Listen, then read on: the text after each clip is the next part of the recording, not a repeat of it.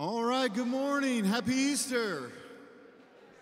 Good to see you all this morning. Let's all stand together and sing.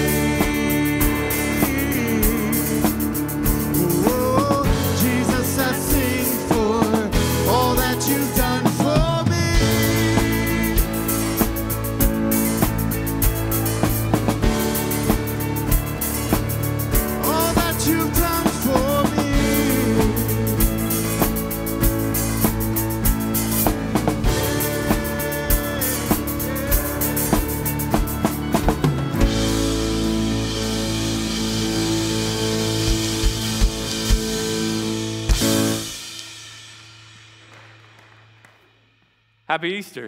What a great day to celebrate the resurrection of the Lord together. We're going to have a different kind of service today in terms of the order of things. So, what I'd like to ask you to do is just say hello to a couple of people around you and then just have a seat where you are after you've done that. Just, just a quick hello, a good greeting.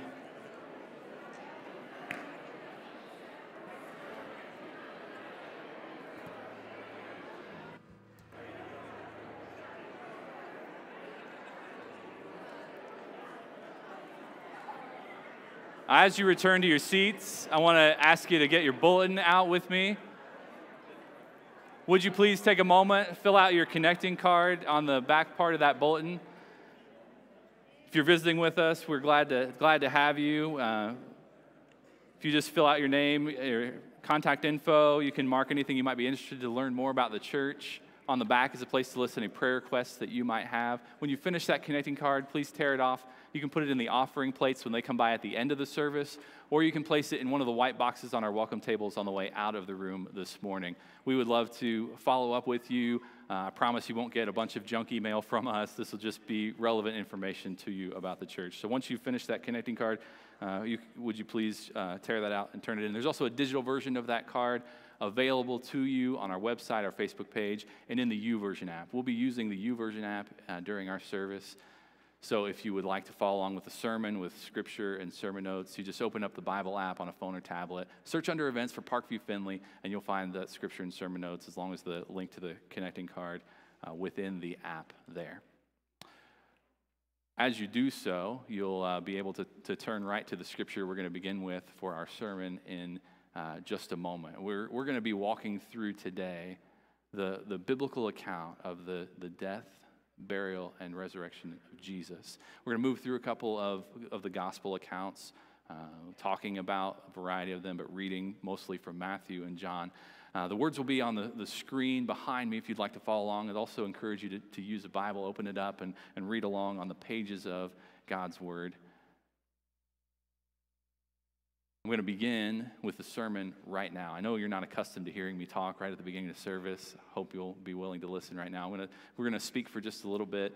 Uh, then we're going to have communion and worship. And then we're going to have a second part to the sermon. Yes, you have to hear me twice today. And we'll come back and bore you some more. We'll have a second part of the sermon talking about the resurrection and then conclude uh, our service as normal. So, right now, I want to invite you to turn with me to Matthew chapter 27. I want to ask a, a, a question of you to think about. Have you, have you ever had the opportunity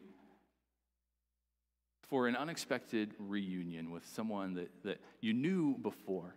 I was driving uh, through Bowling Green a couple of years ago, stopped at, a, at a, a, gas pump. I think it was a BP right off the interstate there, before the roundabout when you know the exit was, was you just come off and hang a left in there uh, pretty close to El Zarape. They've got great soup there at that Mexican place you've never been.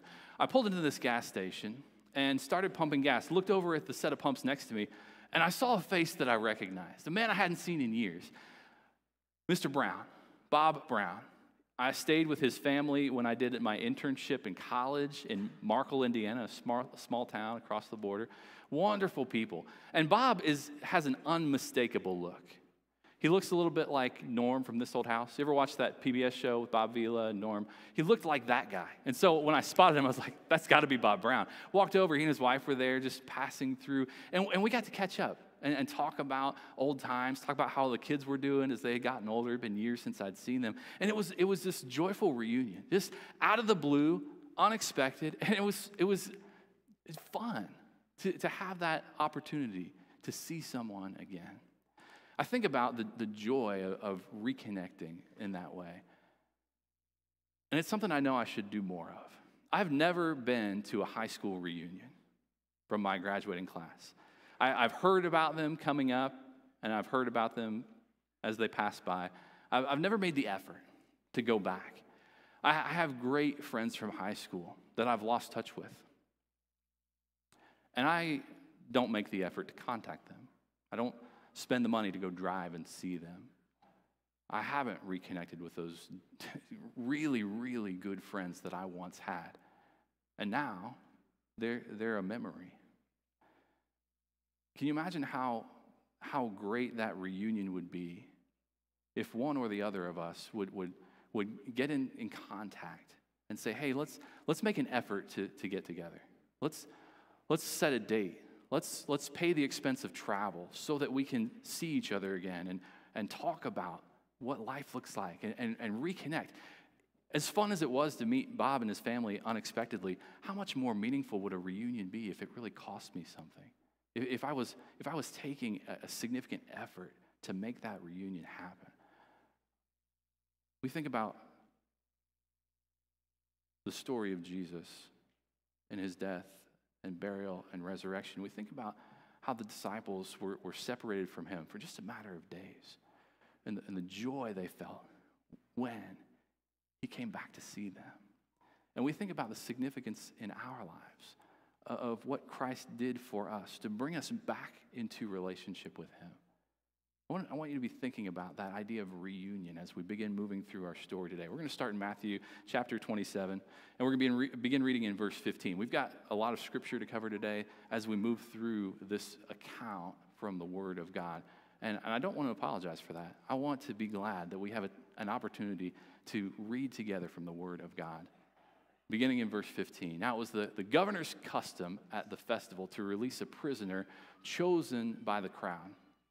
If you've been following along in our sermon series, you know that Jesus is in Jerusalem for the, the, the festival of, of, of Passover, and it's a significant time that he and his disciples have been working toward uh, what's going to take place on the cross. And Jesus has been arrested, he has been on trial in a variety of places, and now he's with Pilate, the governor. At that time, verse 16, they had a well known prisoner whose name was Jesus Barabbas. So when the crowd had gathered, Pilate asked them, Which one do you want me to release to you? Jesus Barabbas or Jesus who's called the Messiah? For he knew it was out of self interest that the crowd had handed Jesus over to him. While Pilate was sitting on the judge's seat, his wife sent him this message Don't have anything to do with that innocent man, for I have suffered a great deal today in a dream because of him. But the chief priests and the elders persuaded the crowd to ask for Barabbas and to have Jesus executed. Now, which of the two do you want me to release to you? asked the governor. Barabbas, they answered. Well, what shall I do then with Jesus, who's called the Messiah? Pilate asked. They all answered, Crucify him. Why? What crime has he committed? asked Pilate. But they shouted all the louder, Crucify him. When Pilate saw that he was getting nowhere, but that instead an uproar was starting, he took water and washed his hands in front of the crowd. I am innocent of this man's blood, he said. It's your responsibility. All the people answered, His blood is on us and on our children. Then he released Barabbas to them, but he had Jesus flogged and handed him over to be crucified. As we, as we continue through this, this passage, I want to I want to think about this idea of responsibility. That, that's really one of the, the key points here as, as Pilate is interacting with the crowd. Who's responsible for the death of Jesus? Pilate doesn't seem to want to take any responsibility here. He's heard his wife interrupt proceedings and say, Hey, hey, I had a dream about this guy that's on trial. Have nothing to do with him. This was a terrible dream. Pilate is arguing with the crowd, a gathered group of, of people. And I see this scene unfolding as he's shouting out questions to the crowd, and they're shouting back over them. He's, he's shouting over the, the noise to get their attention. Who do you want me to release to you? This, this very difficult means of communicating with a group of people. And he comes to the place where, where he refuses to accept responsibility for the death of Jesus. He washes his hands publicly. This isn't, this isn't on me. This man who's about to die, this, this, this is on you. The, the weight of this burden, this guilt, I, I place this man's blood on you. And they say, No, let his blood be on our heads. Let his blood be on the heads of our children. We'll accept full responsibility for the death of Jesus, the crowd says. But is it their responsibility? Scripture tells us that the religious leaders are in and amongst the crowd, stirring things up. Ask for Jesus to be crucified. Ask for Barabbas to be released. Make sure it's Jesus who dies. And the crowd is stirred up, this mob mentality, and they're calling for the death of Jesus. They're willing to accept responsibility, but is it truly theirs? Pilate's quick to pass that responsibility on to the people, someone else, so he doesn't have to, to take that burden on himself. What about Jesus? In the midst, midst of this story unfolding, Jesus is willingly laying down his life. He has made a decision to sacrifice himself on the cross. He is taking responsibility not only for his death, he is taking responsibility for the sin of the world, a burden that he bears on his shoulders. He laid himself down on the cross.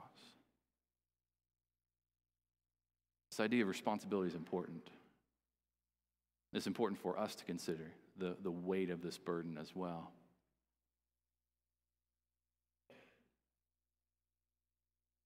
See, a crucifixion like this on a cross couldn't have happened to a Roman citizen. The cross was reserved for slaves, for those who, who weren't Roman citizens. And the Jewish leaders, they were allowed by the Roman government to remain uh, with their nation intact under the umbrella of Rome, but they weren't allowed to execute anyone. And so they wanted Jesus to die, but they had no power to, to accomplish that on their own. They had to surrender Jesus to, to the Roman government. And because Jesus wasn't a Roman citizen, this kind of execution was possible. Not only possible, it was advantageous to the Jewish leaders. See, there's this passage from Deuteronomy chapter 21 that talks about any person who's hung on a tree. That person bears a curse from God. It was a representation that they wanted applied to Jesus. They wanted not only to end his life, they wanted to discredit him in the eyes of the crowd. They didn't want people following his teaching. They didn't want anyone to believe what he said about himself. They didn't want anyone to leave their tradition behind to accept Jesus as Messiah. And so they sent Jesus to be hung on a cross, to take this curse, to take this punishment upon himself. Pilate knew Jesus was innocent. He had been speaking with Jesus, questioning him, and he, he was amazed at the way Jesus stood and heard the accusations. He was amazed at the way Jesus withstood all of the things they were saying about him. He couldn't understand why the religious leaders wanted him to die. It didn't seem right to him, and yet he feared the pressure of the crowd. His reputation as the governor of this region depended on keeping the peace. He had to report to his superiors, all the people who reported to him. He was responsible for making sure that the region remained peaceful, that there weren't any uprisings, that there weren't any, any difficulties that came from the general population. And so this crowd gathered together as they began to, to, to gather and raise their voices, posed a threat to Pilate. He had to quiet them, he had to pacify them. And fearing the pressure of the crowd, he chose to do something against his conscience, against what he knew was right. He chose instead to bow to the pressure of the crowd. And he chose to do something that he knew was wrong. And we look back on the story and we're pretty hard on Pilate. Seeing him wash his hands of responsibility looks like a coward seeing this moment where he refused to live according to his conscience. Pathetic. But is it so? Is it so hard to, to understand what it feels like to, to be pressured by people around you? To know what's right? To know the kind of standards you should be living by and yet bow to that pressure? To agree to do something that you don't feel very good about, but because there's people watching, because there's this fear of rejection, worry about humiliation, you turn to something that you know you shouldn't be doing instead of standing for what's right. This is the example we need to learn from and not follow. When we feel that pressure, when we feel that weight, that burden, it, is a very significant moment for us to answer that guidance of the Lord, to answer that, that sense of our conscience, to do what's right, even in the most difficult moments. See, Jesus was innocent, but he took the place of the guilty. And Pilate allowed it to happen, allowed the crowd to demand the death of Jesus. And as they were demanding that Jesus be executed, what else did they demand? A notorious criminal be released to them. In other passages, we hear that Barabbas is uh, an insurrectionist, potentially a murderer. And this is the man that they want to be set free among the crowd. Yeah, let that guy go. Yeah, Barabbas, let, us have that guy uh, free to do whatever he wants. You execute Jesus, this innocent man. And yet, that's exactly what happened. And this, this illustration we have is such a perfect picture of what Jesus does.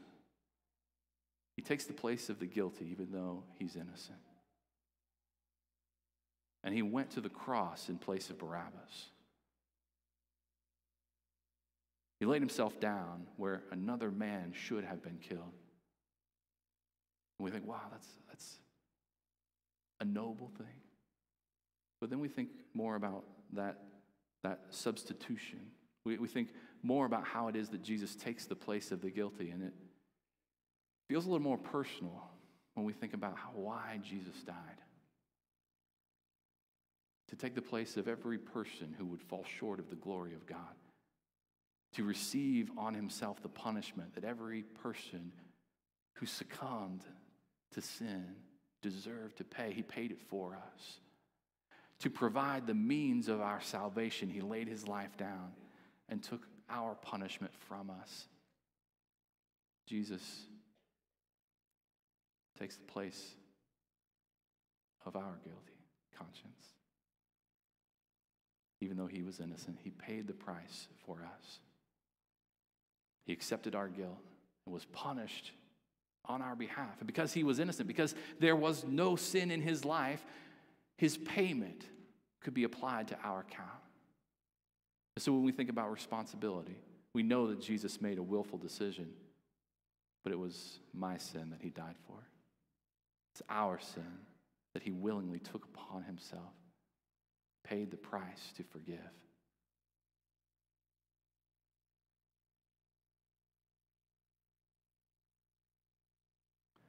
Passage continues in verse 27. Then the governor's soldiers took Jesus into the praetorium and gathered the whole company of soldiers around him. They stripped him, put a scarlet robe on him, and then twisted together a crown of thorns and set it on his head. They put a staff in his right hand, and they knelt in front of him and mocked him. Hail, King of the Jews, they said. They spit on him, took his staff, and struck him on the head again and again. After they had mocked him, they took off the robe and put his own clothes on him. They led him away to crucify him. As they were going out, they met a man from Cyrene named Simon. They forced him to carry the cross. They came to a place called Golgotha, which means the place of the skull. There they offered Jesus wine to drink mixed with gall. But after tasting it, he refused to drink it. When they had crucified him, they divided up his clothes by casting lots. Sitting down, they kept watch over him there. Above his head, they placed the written charge against him This is Jesus, the King of the Jews. Now, two rebels were crucified with him, one on his right, one on his left. Those passing by hurled insults at him, shaking their heads and saying, You who were going to destroy the temple and build it in three days, save yourself. Come down from the cross if you truly are the Son of God. In the same way, the, the chief priests, the teachers of the law, the elders mocked him. He saved others, but he can't save himself. He's the king of Israel. Let him come down. Let him come down now from the cross, and we'll believe in him. He trusts in God. Let God rescue him now if he wants him, for he said, I am the Son of God. And in the same way, the rebels who were crucified with him also heaped insults on him.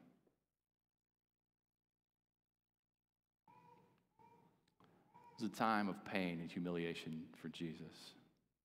In Luke's gospel, we uh, read more about this exchange between Jesus and the men who were hanging next to him, one of them having witnessed the way Jesus endured all of this punishment and ridicule turned his heart toward the Lord.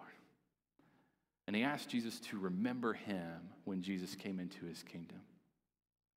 But even in his death, Jesus was turning hearts toward him, even in the way that he endured this pain and humiliation. His presence caused another man to believe. And Jesus said, Today you'll be with me in paradise. Jesus, forgiving sin.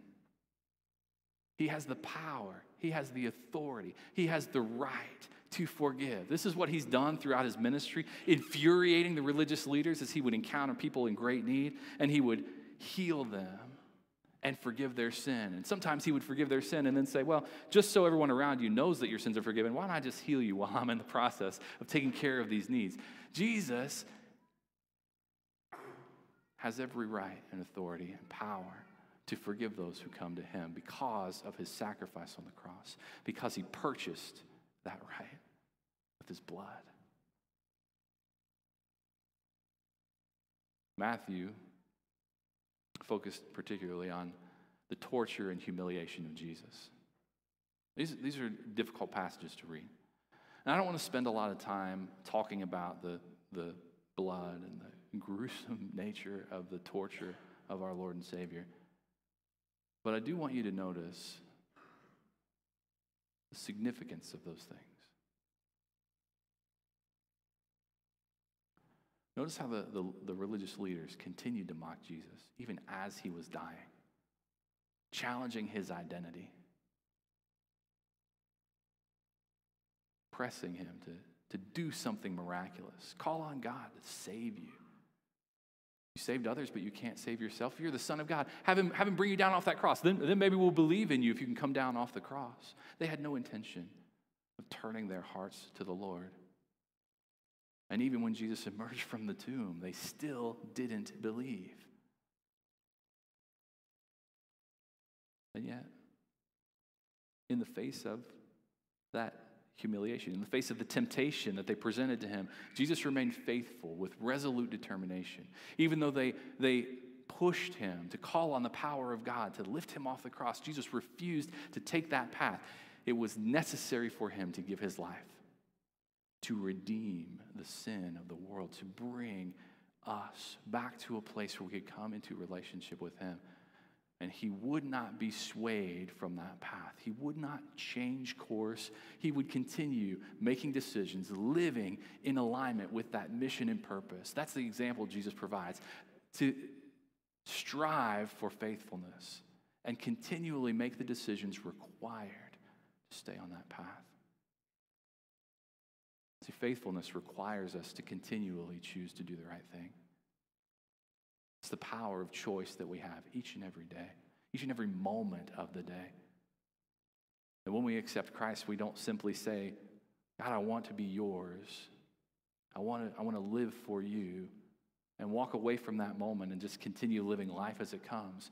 That decision about faithfulness is something we have to actively be a part of every moment Every day of our lives, we have to continue making choices that keep us on that path. As we come to an intersection, we have to continue making the choice that will keep us on the path that He's leading us down. We can't be, be pulled aside by sin. We can't be pushed off course by the pressure of people around us. We have to make the decisions that will keep us on the path of faithfulness. And it's not something we can do passively.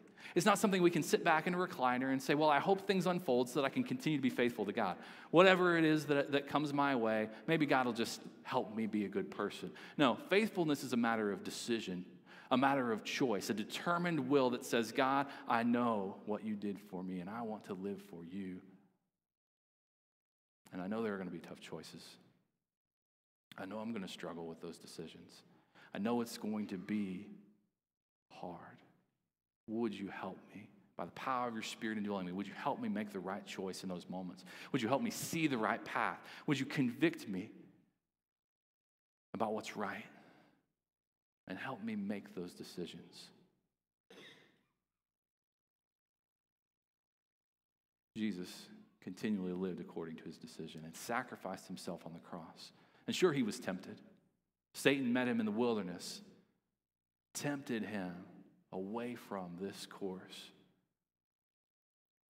In the Garden of Gethsemane, before he was arrested, Jesus wrestled with this decision, saying, God, if there's any other way to take this cup from me. But then he asserted his will and made the decision that he would follow the plan. God, not my will, but yours be done.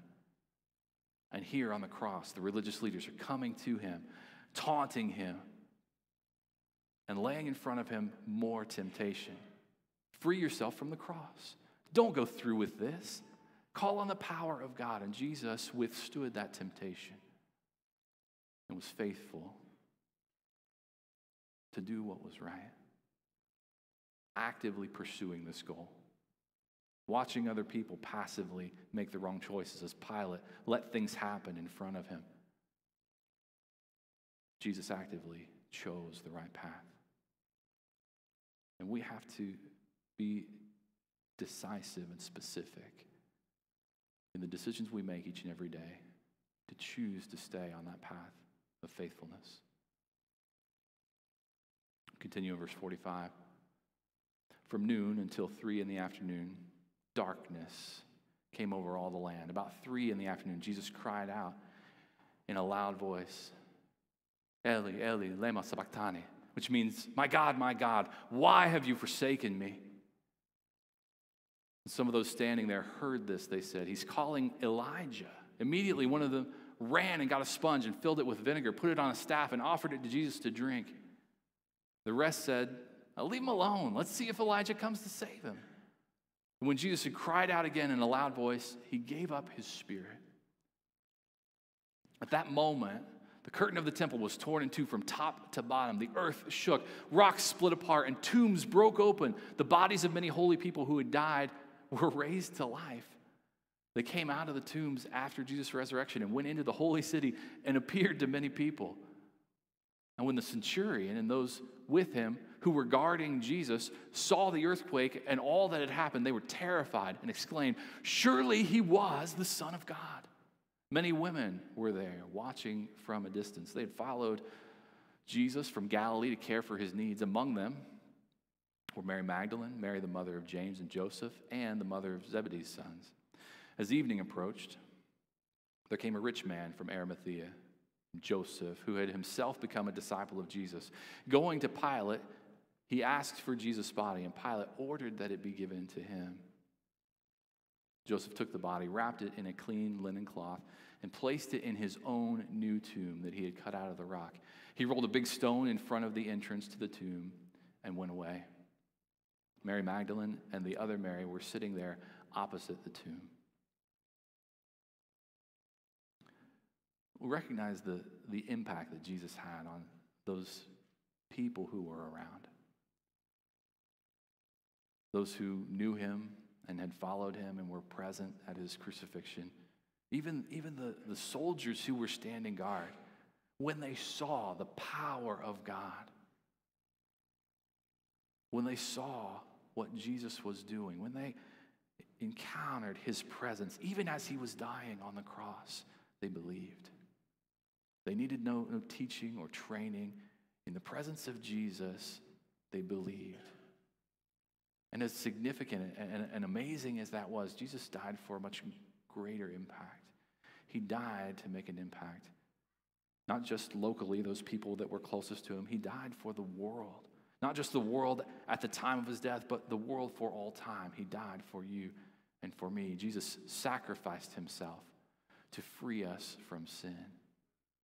And he endured that pain because he loves us, because he cared for us enough to place himself there. There's a story in, in Scripture about, about the Apostle Paul being arrested. And the, the Roman soldiers who, who arrest him uh, are, are getting ready to beat him. And, and Paul says, Whoa, whoa, whoa, wait, you, you can't actually do any of this because I'm a Roman citizen. There's been no trial, there's, you can't prove anything. And before you begin uh, this, this idea of punishing me, first you need to appeal to your governor. You need, you need to go up the chain a little bit because you, you have no authority to do anything to me. Now, Jesus had greater authority than that. He, he had the power, the kingdom of God at his disposal, and yet he chose not to use it. He laid down his life sacrificing himself so that he could provide grace and forgiveness to us. so that he could free us from sin, so he could free us from the hold that sin would have in our lives. Jesus died to release us from all of that. He gave his all, he gave his very life to extend grace and forgiveness to the world. He died for you and for me. He died for every person in the world, knowing that not every person would accept the gift that he was giving to them. He cared enough to do it anyway.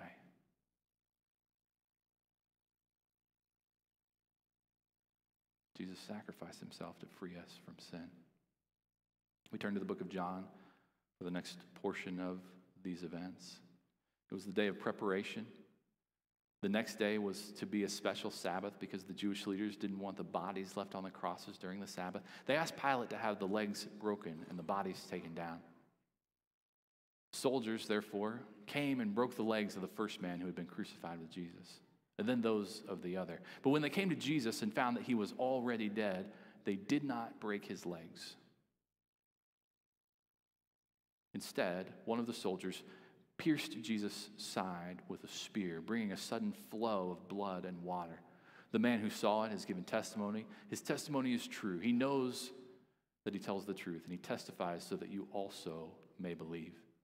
These things happen so that the scripture would be fulfilled. Not one of his bones will be broken. And as another scripture says, they will look on the one they have pierced. John's words here draw our attention to sacrifice. They point us to this idea that Jesus is the sacrificial lamb who died to pay for our sin.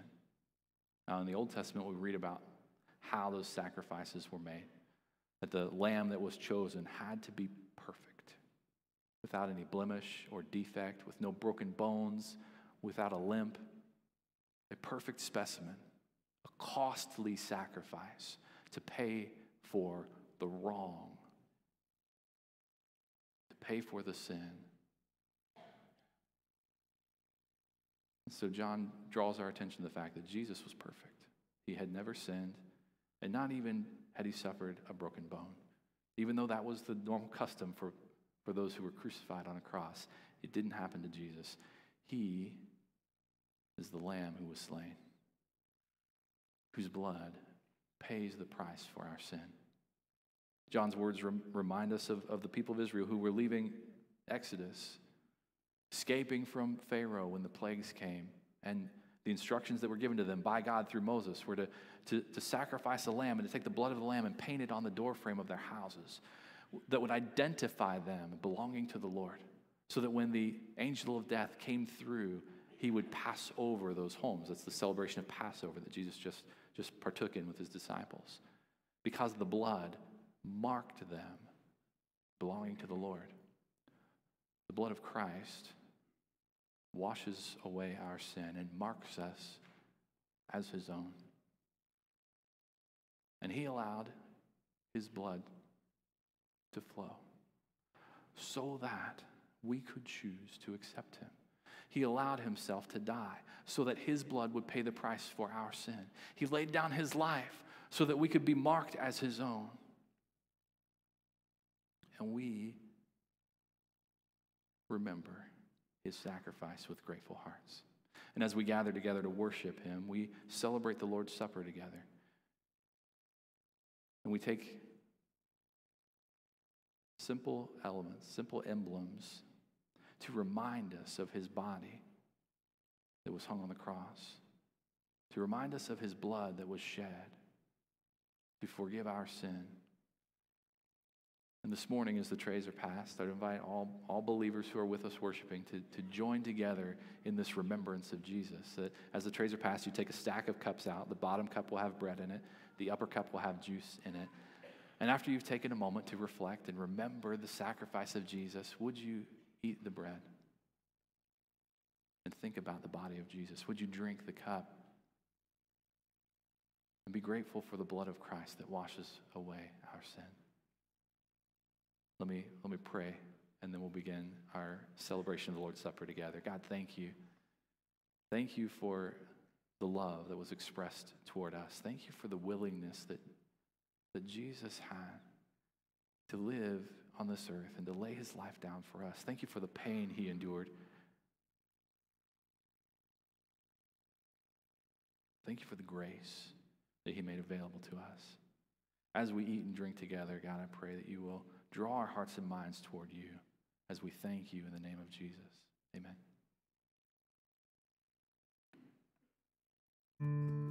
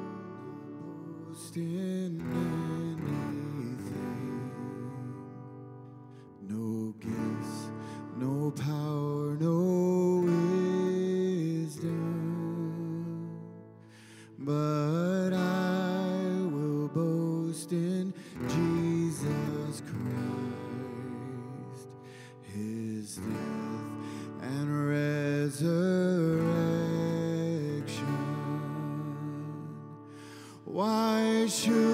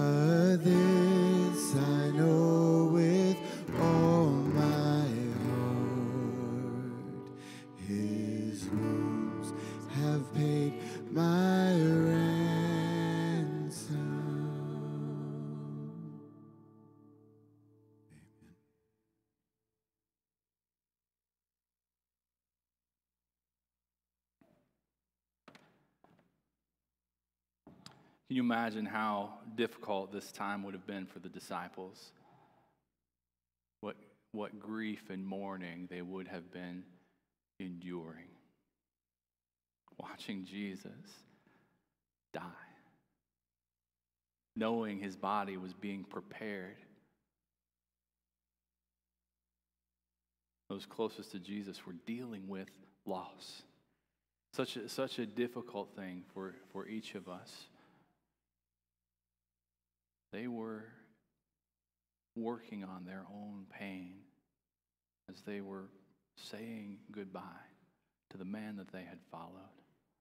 And yet, even in this difficulty, Jesus is going to answer that pain.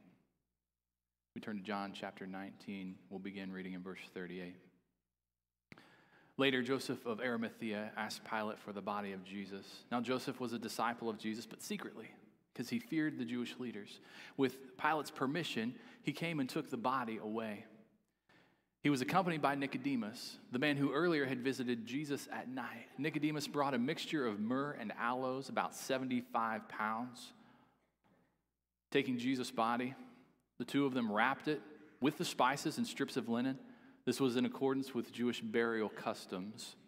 At the place where Jesus was crucified, there was a garden, and in the garden, a new tomb in which no one had ever been laid. Because it was the Jewish day of preparation, and since the tomb was nearby, they laid Jesus there. Now, Romans typically would leave the, those who had been executed hanging on the cross. They would come back later and take the remains and just bury all of the remains of whoever it was that had been crucified together in one grave. They didn't care. These weren't Roman citizens. They weren't they were many of them slaves. Nothing in the eyes of the Romans. According to Jewish custom, the body of an Israelite had to be cared for in a specific way. It had to be removed from hanging before sundown. And as the day of preparation, Sabbath was coming, they needed to take care of the body of Jesus. Joseph went to Pilate and claimed the body and cared for it and placed it in tomb. The, wo- the women who were going to come and put perfume on the body of Jesus wouldn't be able to come back till after the Sabbath. But notice who it was that stepped forward to care for Jesus Joseph, Nicodemus, disciples who were secret disciples, if that's a thing. Can you be a, a true disciple of Jesus in secret? Now, they were afraid of the religious leaders. Nicodemus was a member of the Sanhedrin. Joseph, research a little, also was a part of this leadership. Nicodemus met with Jesus in the dark of night so no one would know about his budding belief in this man, Son of God, the Messiah. They kept their belief in him a secret, hiding their feelings until he died. And they came forward, stepping into the light to claim the body of Jesus and care for him.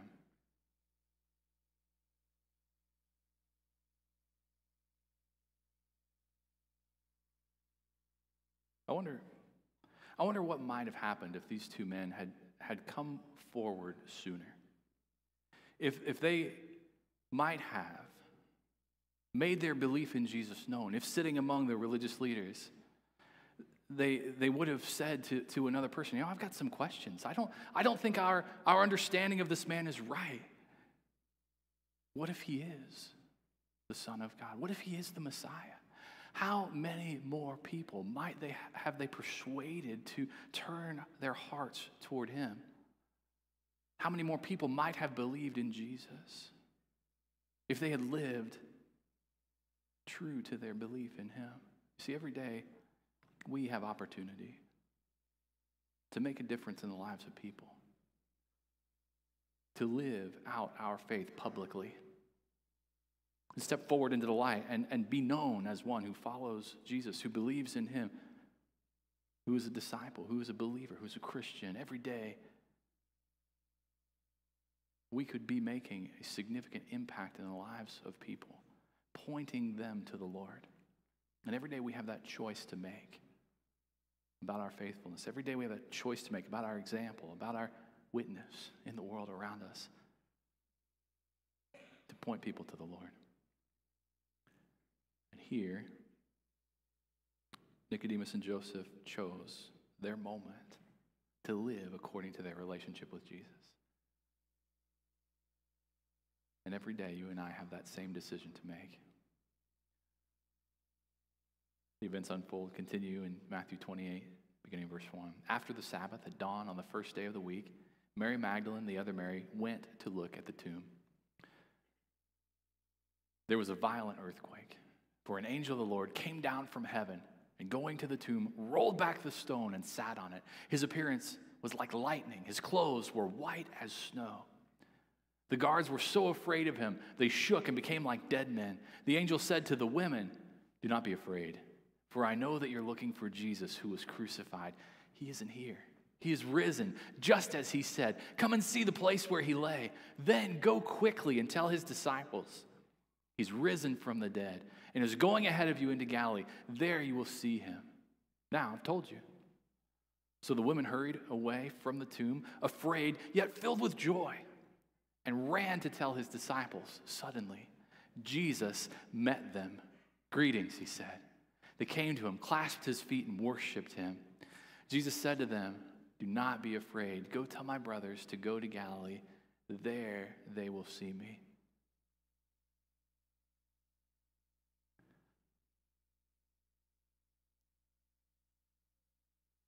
These women had a chance encounter with Jesus. The angel told them to expect to see him, but as they were running, there he was, unexpectedly, this reunion. And they were filled with joy meeting Jesus. And they continued on their path to tell the disciples that Jesus would meet them in Galilee. The disciples who, who would be reunited with Jesus and experience this same joy have their hope restored as they step back into his presence. We, let's consider just for a moment the, the understanding of the disciples, the belief that they had in Jesus. These are, these are men who, who, way, way back at the beginning of the New Testament, heard Jesus and made a decision to follow him. They left their lives behind, their occupations, their families, and they, they, they, they chose to become his disciples to live with him, to, to travel with him, to be a part of the ministry that he was doing. They devoted themselves. They continued to travel with him. And when, when events came up that, that Jesus would, would return to a region where, where he wasn't welcome, like when Lazarus died and he went back to Jerusalem, his disciples said, Hey, wait, wait, wait. You remember the last time we were in Jerusalem? They wanted to kill you. If we go back there, things might get ugly. And together they said, you know what? Let's go with him so that we can die with him. If, if they're so intent on taking his life, let's, let's follow through. Let's, let's be with him, even if it means our death. These are men who were committed to Jesus.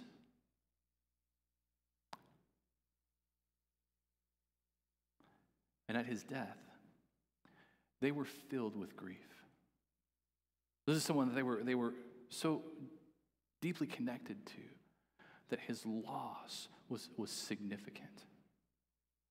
Now, they, they knew what Jesus had said about his death. They had heard him talking about how he would, he would die, and three days later, he, he would come back, that he would lay his life down and pick it back up again.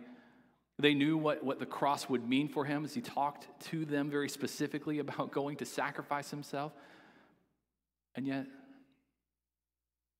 in this moment, they're so overwhelmed with their loss that they can't make sense of the situation. They don't remember those things. It won't be until later they look back and, and realize all the things that they missed in the process.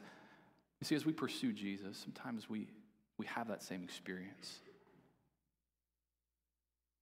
We, we believe in him and, and we, we trust him. We read his word. And as we're growing in our understanding of who he is, we learn that living according to those beliefs isn't easy. And in the midst of pressure and difficulty, sometimes, sometimes we just we don't quite get it right. And later we look back and we, we recognize how important it is for us to live according to our belief in Jesus every moment of every day.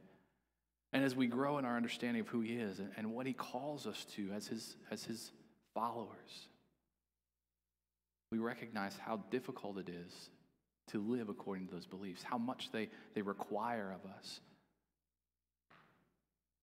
how much more complicated our lives become when we choose faithfulness, how much more difficult it is to take a stand and, and to follow the path that we're called to, but how valuable it is for us to walk through life with the Lord, to remain in His presence, to choose faithfulness, to choose to be a reflection of His love and grace in the world around us. If the disciples had remembered accurately all the things that Jesus said, they might not have been so overwhelmed with grief and sorrow. They might have been spared this difficult time, but think about how joyful this experience was for them to be reunited with Jesus. How instead of maintaining hope, they had their hope restored. That Jesus answered their grief, lifted their spirits to such joy and hope as they encountered his presence again. This is what Jesus brings to our lives hope and joy in his presence that we can find nowhere else. And it's the answer that meets our needs. It's the answer that meets the needs that we experience in the world around us. We look at the world and we see people dealing with this difficulty every day, this emptiness, this loneliness, this, this grief and sorrow, this pain that they can't seem to answer. We feel it at times as well, this, this sense of, of meaninglessness and all of the pursuits of life. Hope is hard to take hold of, and loneliness seems to define our generation. The answer is found in Jesus. The hope and joy that we find in his presence is the only answer to that emptiness we find in the world around us. It restores us to life in relationship with him. This is the victory of the cross.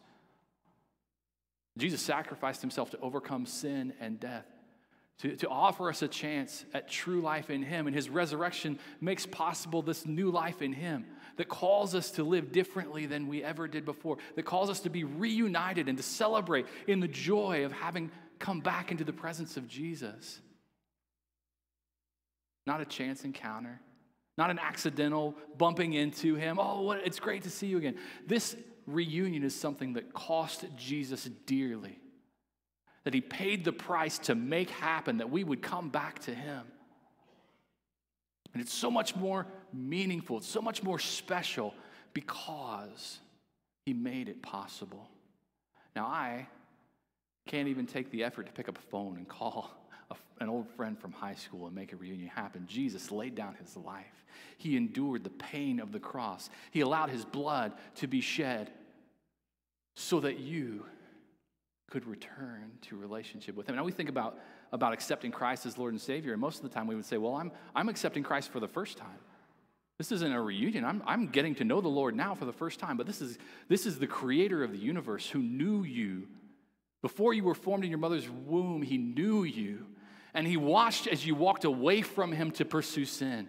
And he died so that you could return, so you could come back into relationship with Him. And for Him, this is a sweet reunion of an embrace that's long overdue as He leads you back where you belong, place of rightness in the presence of your Savior, the place where you were made to be. This morning, I want to offer an invitation to you to accept Christ as your Lord and Savior, to confess your faith in Him, to repent of your sins, be baptized in His name, to come back, to take advantage of this reunion that He's made possible. And I also want to challenge those of you who are believers in Jesus not to let anything hide your faith in Him, not to, not to be worried about the crowd, about people, about pressure, not to be worried about what, what consequences may come, not to worry about humiliation, not to be afraid of anything in the world around you, but to live your faith in Jesus in a way that will make an impact in the world around you, that your relationships with people would exist so that you can turn people's hearts toward Him, that you would take every opportunity to guide people back to, to see Jesus for who He is. Would you live according to that calling? If you have a decision to make this morning, if there's anything in your life you'd like to have prayer for, would you come forward as we stand and sing together? Please stand.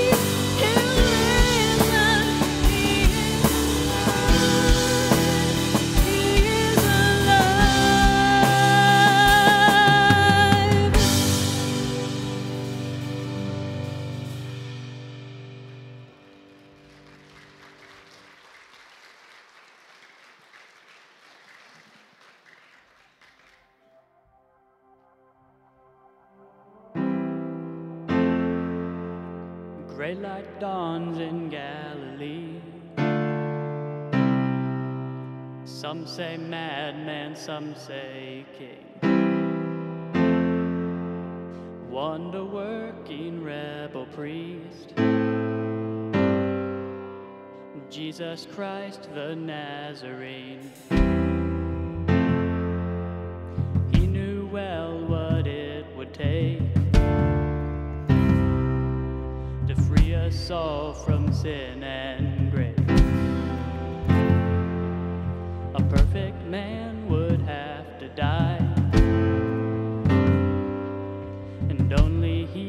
he could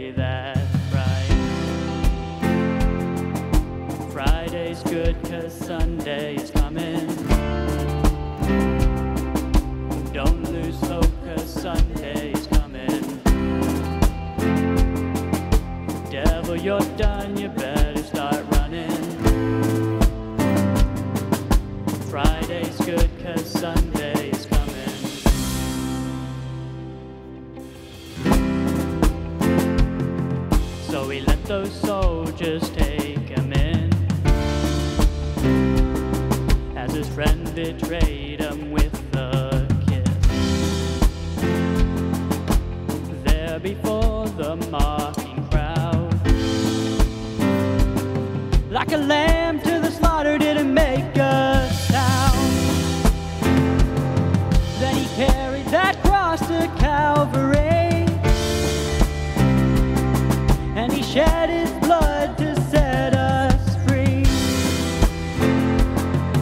As the nails went in and the sky went dark, the redemption of the world was on his heart. Friday's good cause Sunday is coming. Don't lose hope cause Sunday is coming. Devil, you're done, you better start running.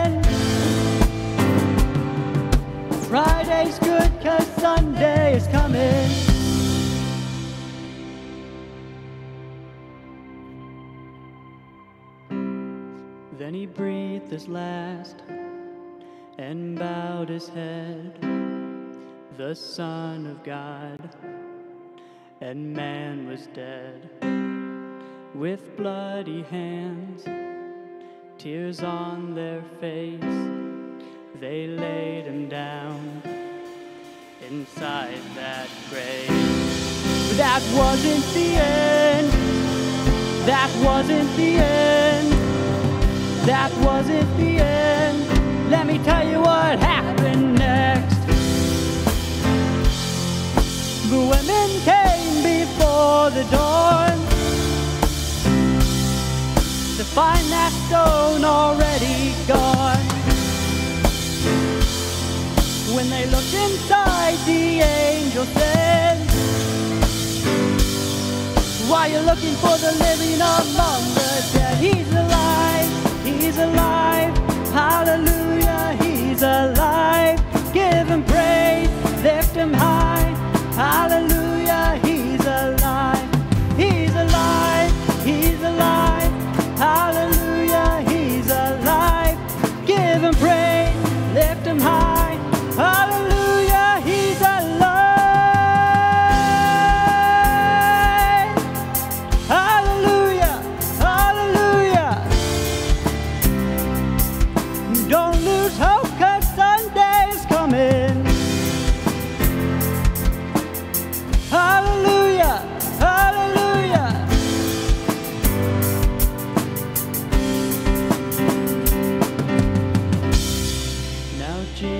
reigns upon the throne.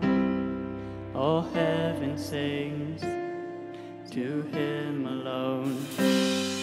We watch and wait like a bride for a groom.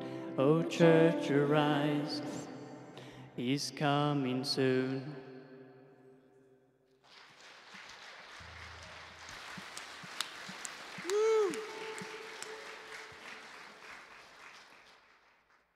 What a wonderful day that'll be.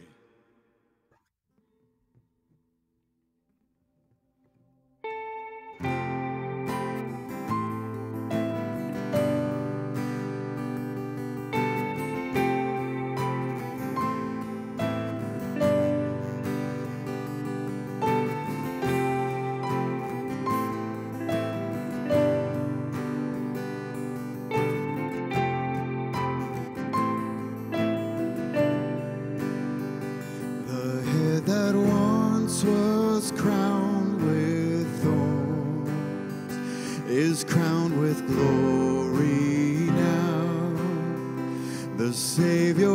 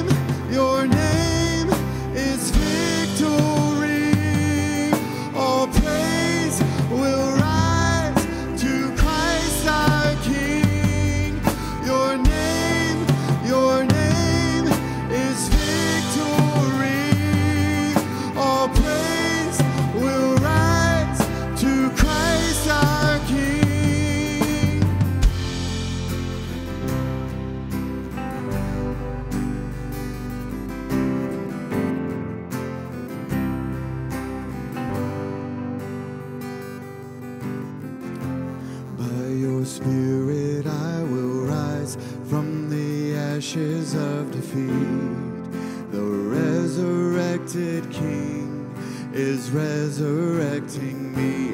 In your name I come alive to declare your victory. The resurrected King is resurrecting.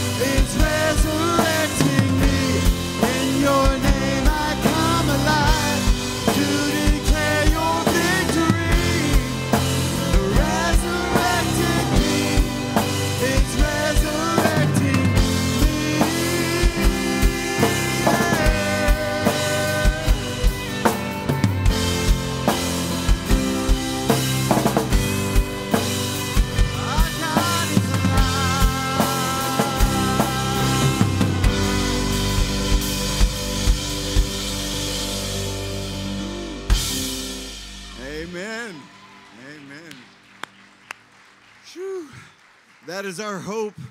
Just as Jesus was raised from the dead, we too one day will be raised from the dead. You can have a seat. This morning, we're going to continue our worship and our giving. We're going to take up an offering. If you're visiting with us, please don't feel any obligation for that. But we want this good news of Jesus' death and resurrection to be shared to all the world so that they can have the hope that we have. And so we give this morning and uh, while the gentleman pass the trays, we'll have some announcements behind me. Let's pray, though, first. Father, we thank you so much for Jesus. We thank you for the hope that we have, and we look forward. Oh, we look forward to the day when we will join you, Lord. Thank you so much for that. Thank you for the victory that is in you.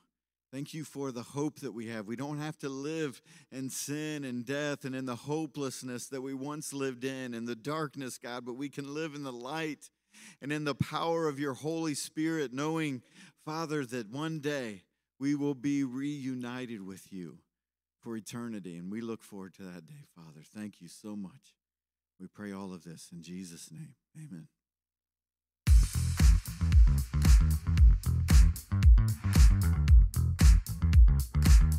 Good morning and welcome to Parkview. We're so happy to have you joining us this morning. There are a lot of things happening here, so we want to take just a minute to get you up to date on all that's going on. The Backyard Mission Trip will be on April 27th this year. If you would like to be a part of this service opportunity for the community, we would love to have your participation either serving on one of the teams or potentially even leading one of those teams. If you have an interest, please sign up at the Connecting Wall. On April 21st, we're going to be relaunching our children's ministry areas. And we're going to be giving tours, giving away some cool stuff, and we would love to have you join us. Now, if you look around the room and you see some families missing, then please take the time to let them know that they need to be here on April 21st. Or maybe you have some friends that have never been here, and this would be a great opportunity for you to invite them to come and join us on that morning. We've got a lot of cool things for you guys to see, but we've also been keeping some stuff back that you don't know about, and we're going to be revealing them on that Sunday morning. And we would love to have you here to see those things and to join in the celebration. So please join us on April 21st during our services as we celebrate the children's ministry spaces. Hey, ladies, if you are looking for a fun way to get some exercise with some of your friends from church, a new session of cardio drumming will start April 2nd, and that will be on Tuesdays at 6:30. Contact Amanda Morrison if you're interested. DIY Putt Putt is back. On April 6th at 2 p.m., we will be having our one of a kind, unique miniature golf course right here inside Parkview's building. Here's how it works we ask you, the congregation, to come up with holes. It could be something you make as an individual, it could be something you make as a family. However, you want to do, you design it, you build it, and you bring it here, and we lay it out inside this building. So please, if you're interested, sign up at the connecting wall, take one of the forms, fill it out, and return it so we know the dimensions and the size.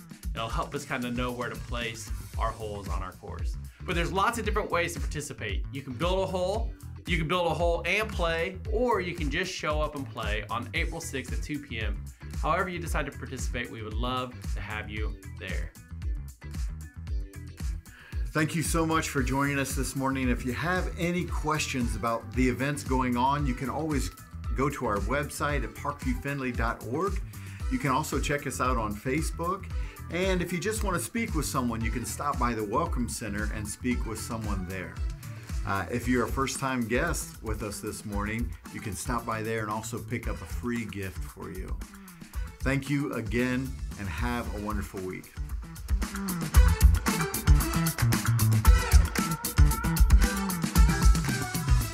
All right. Thank you so much for joining us. Happy Easter, everyone.